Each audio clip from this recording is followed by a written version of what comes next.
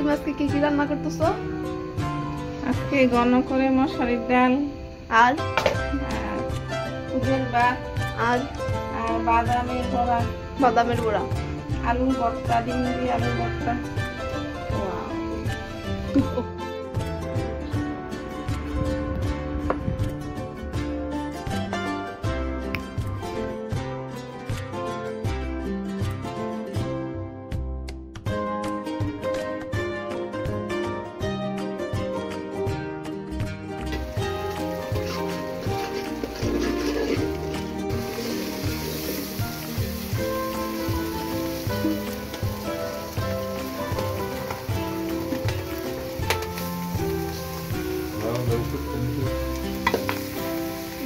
না তুমি কি কি দিচ্ছ বলো? তেল সরিষার তেল দিয়ে রান্না করো। সরিষার তেল দিয়ে রান্না করতেছি দিছি তেজপাতা একটা বড় তেজপাতা চিরা শুকনা মরিচ চিরা আদা কুচি পেঁয়াজ কুচি। আদা কুচি। পেস্ট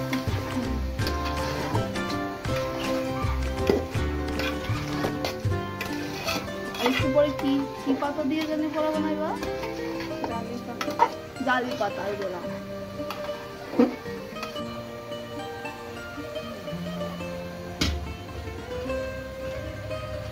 আর হলুদ টলুদ তো কিছু দিবা না? হলুদ নো মরিচ জাস্ট নর্মাল ভাবে রান্না করতে হবে। এই নর্মালি রান্নারই আরেকটা মজা না? খুদের ভাত। আদা রসুনের পেস্টও ব্যবহার করতে পারে তাই না। আদা রসুনের পেস্ট তুমি দাও নাই কেন? আদা কুচি ও আচ্ছা। আদা কুচি দিলে আদার পেস্ট ব্যবহার করার কোনো প্রয়োজন নাই। নাকি আছে আমার না দিলেও চলে না দিলেও চলে এটা শুধু খুদের ভাত সাদা খুদের সাদা খুদের হলুদ মরিচ। কিছুই লাগবে না।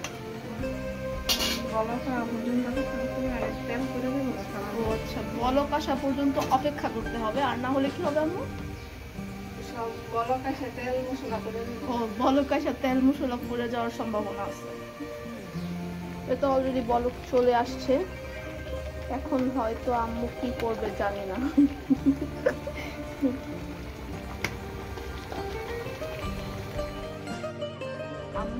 বলছে সো আমি চুলা কমাই দিচ্ছি নিচে তাওয়ার টিন দিচ্ছে না? নিচে তাওয়ার যে টিনটা আছে সেই টিনটা দিয়ে আবার সেটাকে তুই কি? দমে দমে দমে রাখবে দমে রাখলেই সেটা হয়ে যাবে না? রান্না শেষ কমপ্লিট এটা এখন ঢেকে দিবা ঢেকে দিবা না? হ্যাঁ, দশ মিনিট। দশ পরে রান্না শেষ। দশ মিনিট পরে চুলা অফ করে দিবে না জালি পাতা দিয়া গুঁড়া বানাইলে সবচেয়ে বেশি মজা হয় না?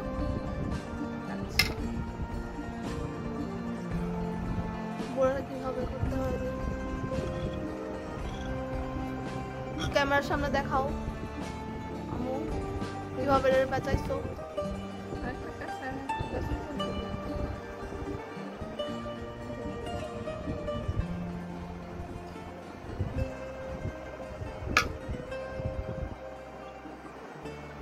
সবাই মনোযোগ দিয়ে দেখো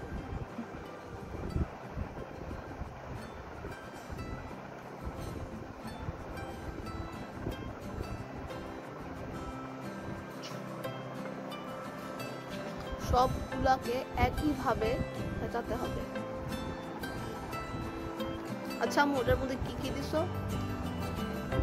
পেঁয়াজ রসুন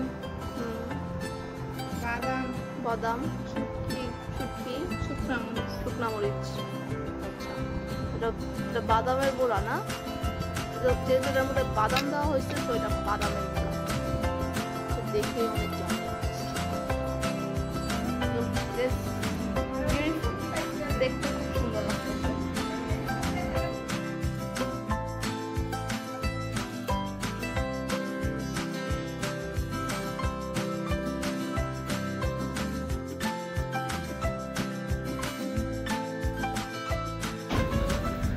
বড়াগুলোকে গরম তেলে দিয়ে, গরম তেলে দেওয়ার পাঁচ মিনিট পরে সাবধানে, খুব সাবধানে উল্টিয়ে দিতে হবে।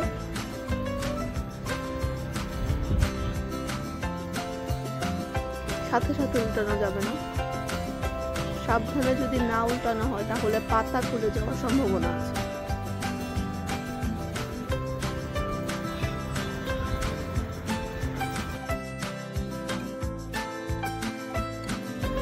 কারণ আমার আম্মু বলে পাতা পেঁচানোটাই নাকি অনেক মুশকিলের কাজ।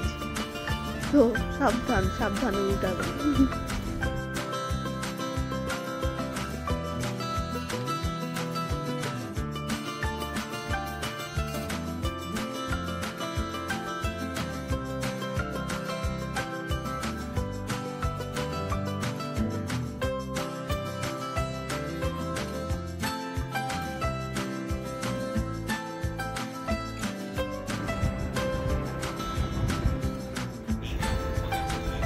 আজকের লাঞ্চটা আরও ইয়ামি হতো, যদি সাথে নিতাম আমের আচার ও লেবু। দোনোটার একটা ওর কথাও মনে নেই, দোনোটাই ভুলে গেছি। আর এমনি তো আজকের লাঞ্চটা খুব খুব খুব ইয়ামি